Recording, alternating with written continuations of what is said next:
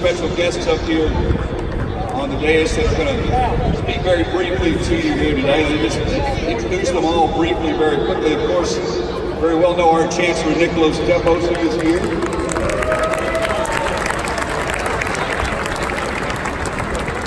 Athletics Director Malcolm Turner. You know this guy. We'll hear from him again in a minute. And thrilled to have with us Governor Bill Lee is here today. And the mayor of the great city of Nashville, David Briley. Thank you, gentlemen, for being here. I stood up here in 2014 about this time, and I said, dreams do come true. Well, last night, as we watched the Commodores, a lot of people might consider that to be a dream and in some ways it was. But I more considered it a coronation. Because I believe what we witnessed this year is not only the greatest baseball team in Vanderbilt history, but one of the greatest in college baseball history.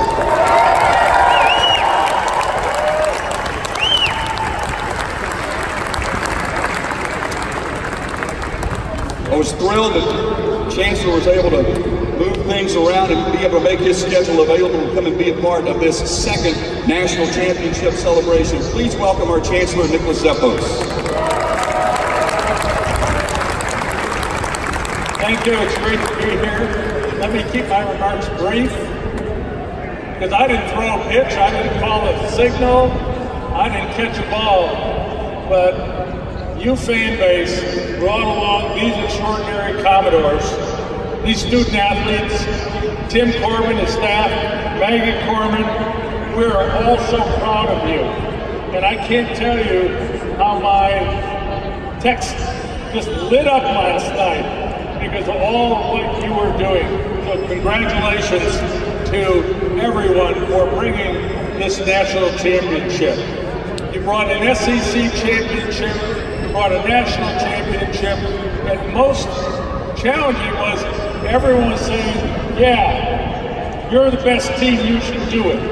And under that pressure, under that spotlight, you all perform with poise, with integrity, with character, with sportsmanship. We call it the Vanderbilt way. You are a shining light. Anchor down. Anchor down. And let me turn this over to our wonderful mayor, David Briley. David? Well, thank you, Chancellor. Let, let, me start by saying that the partnership between Nashville and the Vanderbilt Commodores and the Vanderbilt University has never been stronger. Uh, and that's uh, in, in, great part due to Chancellor Zeppos. And I, I just want to say thank you to you, Chancellor Zeppos, for everything you have done to build that partnership here in Nashville in the last, in the last years.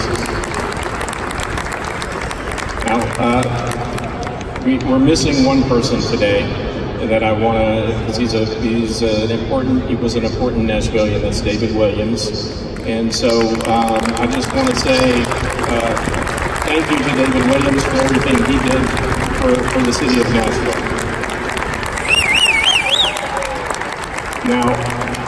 I'm a, I'm a long-suffering Vandy fan in, in many ways. My grandfather brought me to every football game in the 70s. Uh, and so um, I've been a Vandy fan for uh, as long as I can possibly remember. And today, as we welcome back the national champions from Omaha, I just want to say Vandy boys, you made us proud. We love you, and we look forward to more successes in the future. Thank you very much. Thanks for being part of Nashville. Thanks for making us proud. Thanks, Corbin. Thanks for doing it the right way.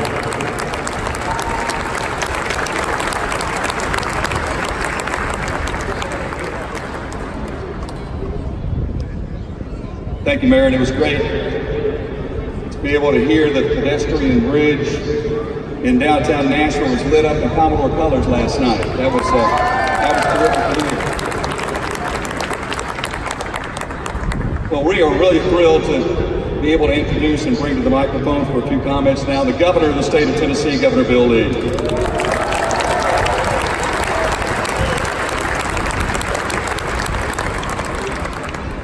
Anchor down, boys. We are proud of you. Everybody in the state of Tennessee is proud of you. And we're very, very grateful for, actually, for the honor that you bring to this state. Thank you for all of y'all for being great fans, for loving them. As a kid who grew up in this community, his mom and dad both went to Vanderbilt, uh, went through many, many years hoping for national championships. This is a really good day. Thank y'all.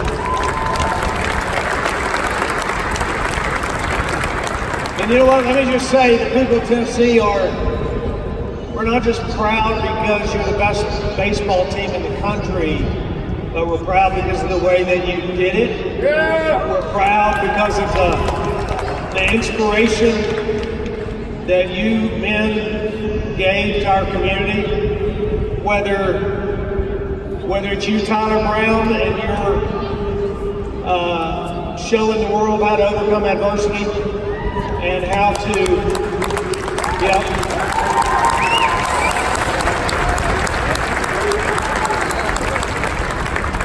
You've been an inspiration to me and to, and to many others that you don't even know. Uh, the way that you men honored your uh, your teammate Donny Everett through this process. We remember him today.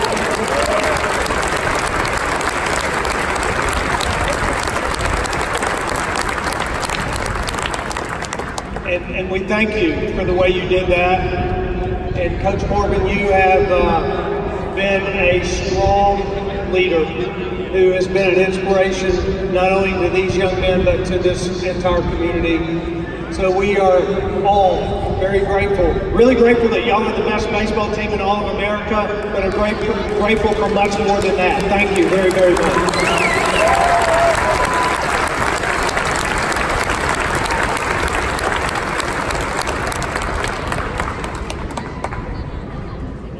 Well, when this year began, you've heard Tim Corbin talk about it some.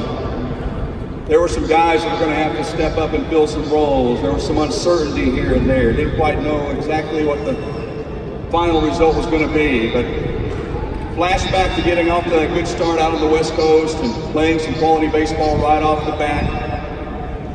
And then watching this team gel and watching this team grow um, and get better as every week went along was something special.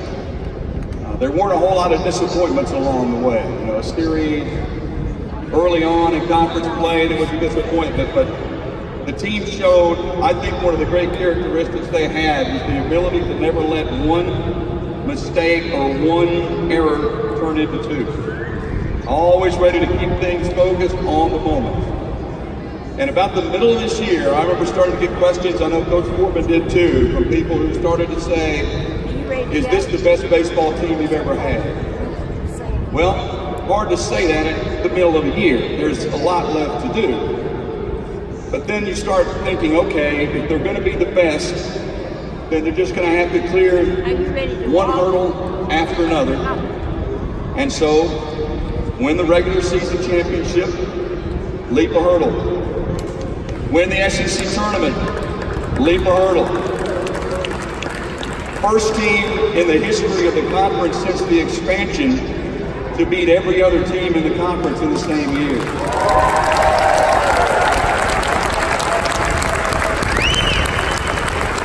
Be good enough to be ranked number two national seed for the NCAA tournament, which meant once again the ability to host over here in Hawkins Field.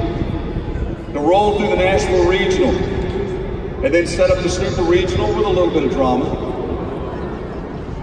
But found a way to clear that hurdle convincingly and leap back into Omaha for the fourth time. And this time is the third time making it to the national finals game and getting it done on that final day by a score of eight to two to beat the Michigan Wolverines and give us our second national championship.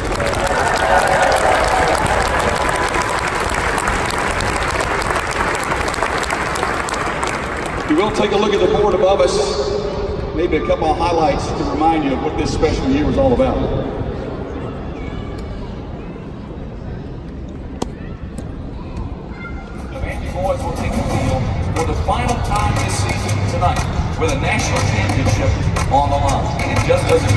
Bigger or any better than.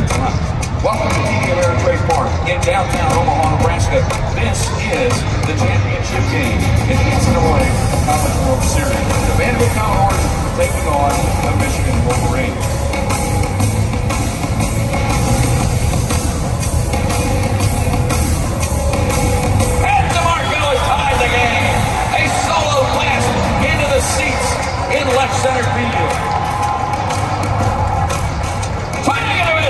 Three. What an answer by Mason Hickman. Up the middle, that is a base hit. It will score one. They'll wait the second around. He will score. The Commodores lead it by a score of four to one. Two RBI single by Stephen Scott.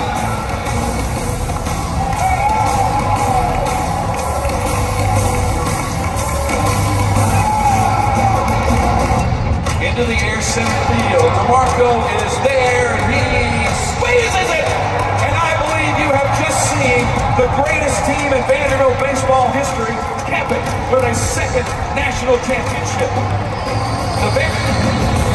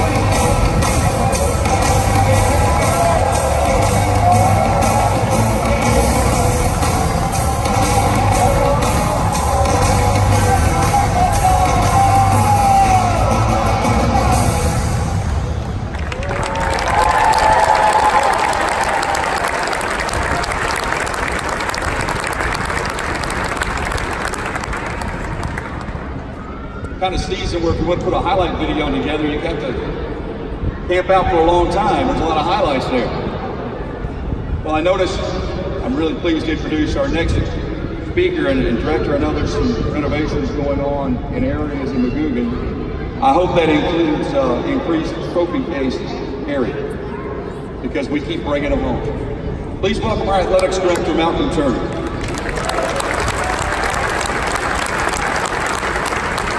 Thank you. Thank you so much for all of you being here today to celebrate another Vanderbilt National Championship. Woo!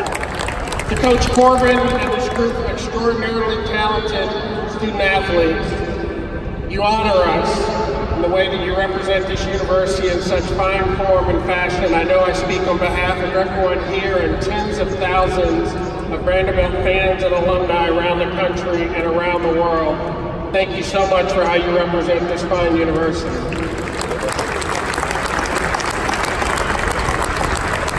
And to the young men on the team, we are immensely proud of each and every one of you. Your names will be etched in stone forever as Vanderbilt legends. But I know it hasn't come easy. I know how much work you put into your studies, how much work you put into your training, and the long grind of the baseball season and the loss of a beloved friend and teammate in Donny Everett. And it's also obvious watching this team what a special group that you really are. How much you enjoy the process, how much you enjoy each other, the satisfaction you take in playing this game at the highest level, and the pride you take in wearing the black and gold. And you've met every challenge. As the Chancellor noted, and Joe as well in the video reference, you won the SEC regular season championship, you won the SEC Tournament Championship. You won the regional at Hawkins Field, the super regional at Hawkins Field. And in Omaha, you showed the world that there's no better coach than Tim Corbin and no better baseball program in this country than Vandy Boys.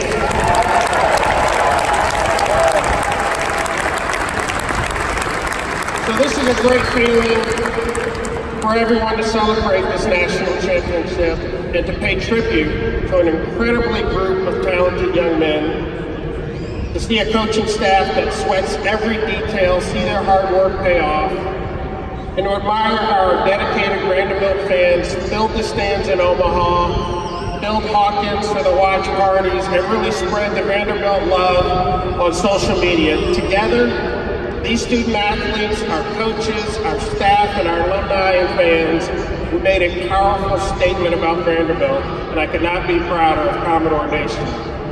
But I think it's time we heard from head coach Tim Corbin and our national champion Vandy boys. Coach.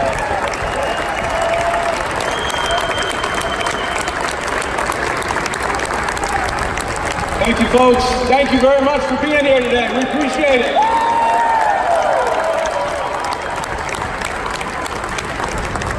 Like to thank the governor for being here first off, making time to get over here and celebrate you and celebrate our, our uh, players and coaching staff. Like to thank Mayor Briley. He lit up the city last night in black and gold. He made this a Vanderbilt city. We're certainly appreciative for that. Certainly want to thank the Chancellor and our Athletic Director, Malcolm Turner. And I think sometimes through all of this, there's one guy that stays constant too, and that's the voice behind the mic of every game that's on the radio. That's our guy back here, that's Joe Fisher.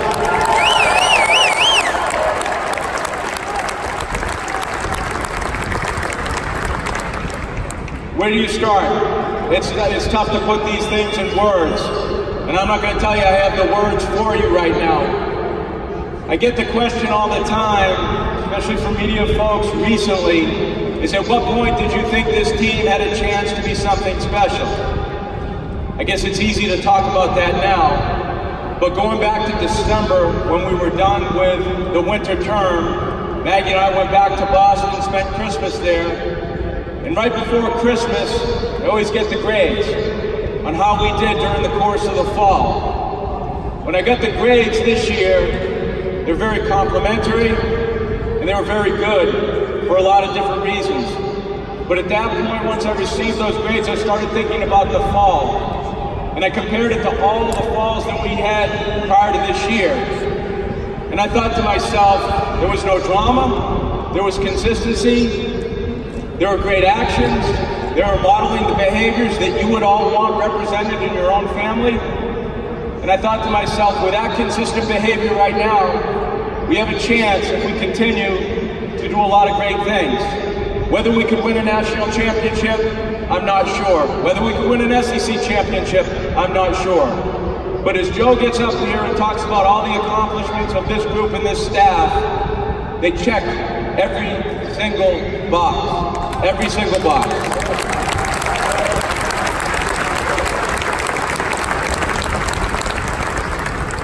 But I'm not bright enough to come up with a, another word outside of consistency and maturity, and that's what it was.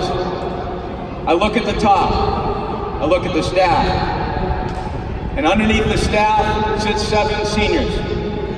Seven seniors in 2016 who probably had the toughest time of their lives, losing a teammate, and then four years later to come back to school, to finish their degree, and to be the leaders of a program, and to be the modelers of a program, and go from devastation to celebration, and come full circle inside of an athletic and student program. I give them tons of credit and give this great group all the credit in the world for bringing home this second national championship.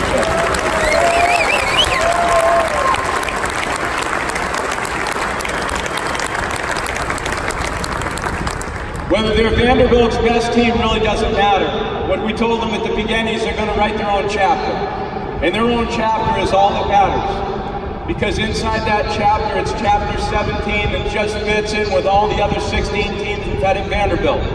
But you know what? If we didn't have 2003, that moment with Worth Scott, we wouldn't have 2004. If we didn't have 2004, we may never have got David Price, Ryan Flaherty, Pedro Alvarez. We don't get 2007. If we don't get 2007, we don't get 2010 when we went to our first Super Regional.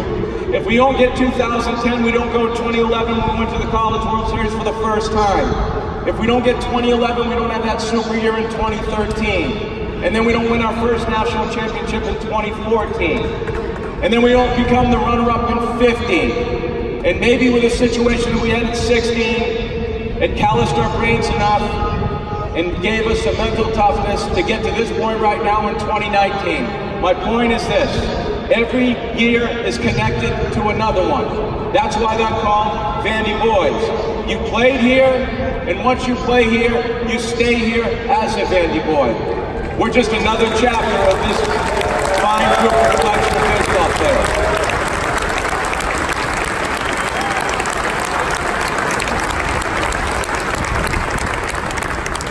On behalf of the coaches, on behalf of the staff, on behalf of my wife, and on behalf of these players, I want to thank you all out here in front of us for coming here today, for spending money to go to Omaha and taking time away from your family, and then for spending time out at Hawkins Field, at our football stadium, our basketball arena, just for supporting Vanderbilt University.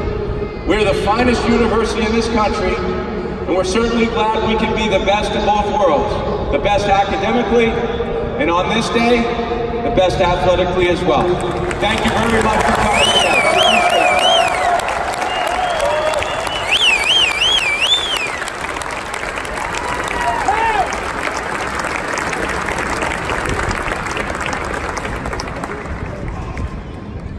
we give you an opportunity here from a couple of student athletes. Makes sense to bring a couple of seniors up to say a few words. First, let's bring up our shortstop who hit what arguably is one of the biggest hits in the World Series, and that come from behind win over Louisville. Please welcome Ethan Paul.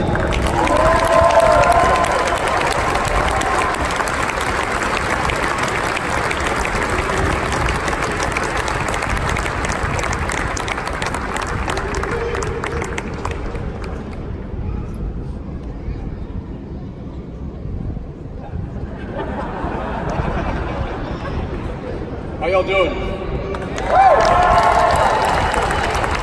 So, I can speak on behalf of the team here. Uh, I just want to thank all of you for coming here tonight, celebrating this moment and this accomplishment that we've had so far.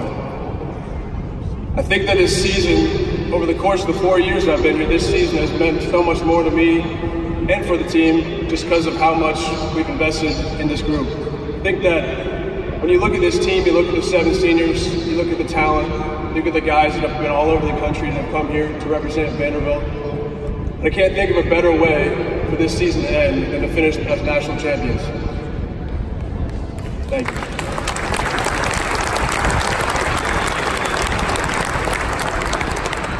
This group is so special for so many reasons. I could go on and on about each guy, each reason that they, each thing that they brought to the team. But I'll keep it short and I'll wrap up with this. I think that the reason that this team has made it to this point is not because of the talent, not because of the baseball skill, not because of even all of the reps and the training sessions and stuff like that, but it's just the guys, it's the, it's the character of each one of them and how they've represented Vanderbilt and how they've come together and made this university and this program proud. Thank you very much. Thank you for being here.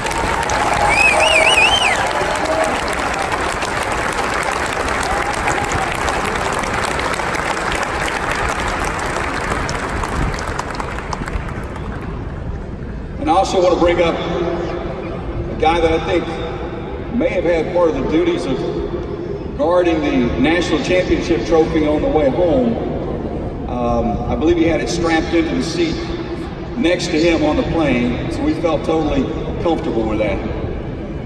I think as many players as we've loved throughout the years in this Vanderbilt program, this guy is right at the top of the list among the most beloved I think that have ever come through here. Our first baseman, Julian Infante. Yeah.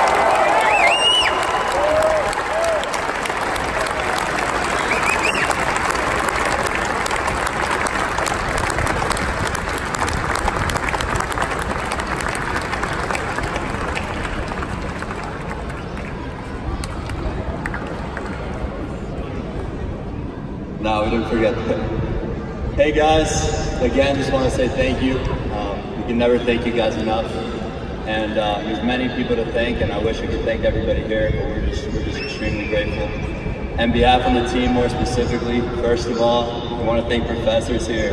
And um, it hasn't been easy for, for a lot of us. And going through this, we've gone through it, and um, we've gotten a lot of great help, a lot of extra hours after class, and um, we just really appreciate that. And we wouldn't be here without you guys. Second of all, we want to thank the fans. We want to thank the fans who've traveled, who have gone through 40 degree weather, who have gone through 100 degree weather, and have gone extremely long distances just for us. And uh, we're extremely grateful and we wouldn't be here without your support. And third of all, we want to thank this coaching staff. The amount of hours that Coach Corbin, Coach Baxter, Coach Macias, and so many others spend at the field away from their families, it's, um, unbelievable. And we wouldn't be the players we are without them. We're extremely grateful. And guys, I just want to say thank you again one last time. It's been a true honor speaking from everyone on this team. It's been an honor to be a Vanderbilt Commodore. It's been a privilege to be here for four years at Best University. We're extremely grateful, and uh, we're national champions. Thank you, guys.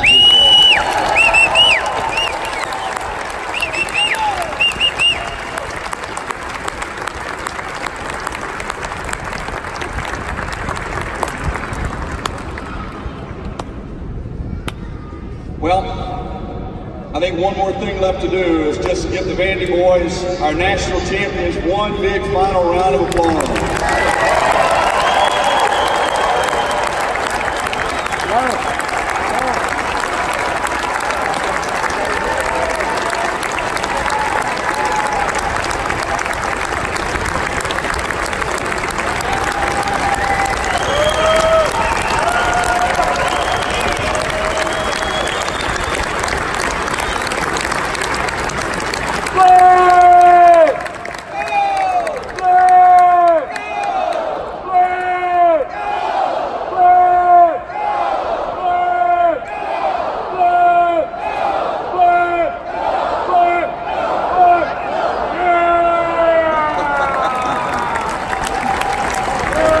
so great to have you come and, and be a part of this celebration. Uh, the guys now are going to head back and get ready to sign autographs. The line is over there. Stick around for a while and and uh, have them sign some autographs and chat, take some pictures, and get a shot of the national championship trophy if you can as well. But once again, thank you so much for being here all year long, and you, Dan.